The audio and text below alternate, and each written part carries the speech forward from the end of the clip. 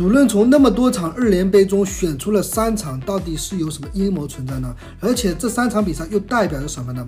包括今天有一场亚冠杯的比赛，昨天亚冠杯的比赛，艾因还是取得了那个呃晋级，虽然败了比赛，但是有一个争议的一个点球没有进行判罚，而对方有了个点球，所以爱英一的实力不是说那么差。那么今天这场比赛，横滨水手跟蔚山现代中又有什么故事呢？那我们慢慢来讲。首先来带来两场比赛还是比较。精彩的第一场比赛，亚冠杯的横滨水手对阵蔚山现代，在双方首回合的对抗中，蔚山现代这边占据主场优势，取得了领先。但是对于横滨水手来说，他跟蔚山现在的一个比赛中，他的一个成绩是占据下游的，包括是他在那个主场面对韩国球队的。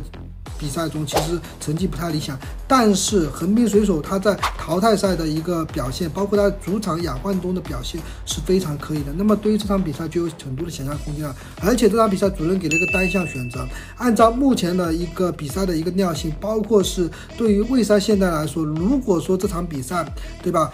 就算败了一个，他们还有加时点球，还有晋级的机会。那么越是这样情况的出现，越是这样情况的存在，那么我觉得这对于横滨水手来说，看似是有利的，但实际上是不利的。这场比比赛我们看个十二分钟跟十四分钟，我觉得蔚山现代在客场还是能够守住的。第二场比赛二连杯的熊本深红对阵鸟栖砂岩，对于这场比赛来说，两个球队，嗯，其实。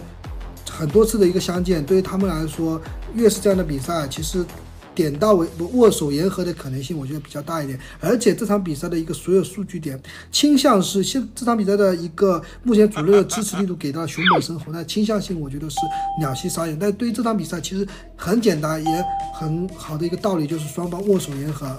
而且双方也比较喜欢握手言和的一个结果。这场比赛看十一分钟和二十二分钟，这两场比赛是个人觉得比较精彩的。之后再带来剩下的两场比赛，第一场比赛二连杯的秋田来色闪电对阵湘南海洋。对于这场比赛来说，湘南海洋的实力应该是应该是在秋田海蓝色闪电之上的，但是一个是二指乙，一个是二指，呃，不过这场比赛是秋田蓝色闪电这边他们的话目前的一个状态好一点，而湘南海洋这边。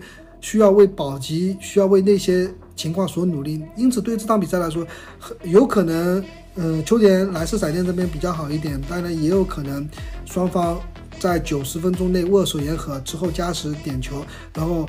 取得一个晋级名额，名额之后最后一场比赛二连杯的群马温泉对阵百太阳神。对于这场比赛来说，很多人都觉得，对吧？百太阳神是有机会的，我也是这样觉得。我说百太阳神是有机会，因为群马温泉状态也不太好。现在群马温泉跟之前的群马温泉之间差距还是比较大的。那百太阳神这边实力是更上一层了。但是对这场比赛，要么酣畅淋漓，要么点到为止。那我觉得，如果非要进行一个选择的话，那我。